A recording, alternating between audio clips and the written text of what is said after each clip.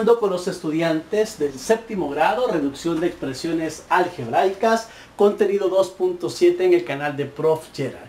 Gracias a ustedes vamos a empezar con los ejercicios. Te invito y te dejo el link de la primera parte donde se resolvió el presaber. Ahora, tomando en cuenta que ya observaste el presaber en el video anterior, ahora vamos a reducir las siguientes expresiones algebraicas. Mira qué sencillo es esto. 4A más 2A. Podría yo darte un ejemplo como 4 manzanas más 2 manzanas son 6 manzanas. Entonces 4A más 2A sería, eh, esto lo puedes expresar de esta forma, 4 más 2, A. Y 4 más 2 es 6 y le agregamos la variable que es A. 6A. Y más Y, recuerda que el coeficiente es 1. 1 más 1 y la parte variable en común es Y. 1 más 1 es 2, 2Y. Vamos al siguiente. Trabajo como son expresiones algebraicas que tienen el mismo, la misma parte literal, podemos resolverlos. 3 menos 8, X. 3 menos 8 nos da menos 5 y le agregamos la variable X menos 5x más 2x, trabajo con los coeficientes y le agrego la variable en común. Menos 5 más 2 es menos 3 y le agregamos la variable x.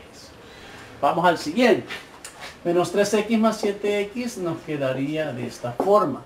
Trabajo con los coeficientes, menos 3 más 7 es 4 positivo y le agrego la variable x. Menos 2x menos x es decir, menos 2 menos 1 y le, agregamos la variable x. Nos quedaría menos 3 x en este caso. Luego, menos x menos x, menos 1, menos 1, x. Menos 1 menos 1, signos iguales, se suman, ¿verdad? Menos 2 y le agregamos x. x menos x sería 1 menos 1 factor de x. 1 menos 1 es 0, ¿verdad? Y 0 por x es 0.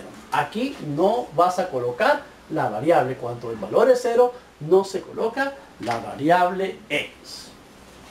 Seguimos trabajando. Vamos ahora con los decimales. Menos 2.6 menos 1.3 factor de y. Acá signos iguales se suman, entonces me quedaría en negativo. Menos 3.9 y para el literal i. Vamos al siguiente. Menos 0.2 más 0.1y. Este es mayor, entonces me va a quedar negativo.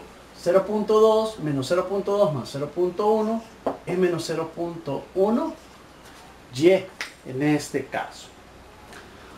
Con las fracciones, bien, menos un quinto más 2 quintos y.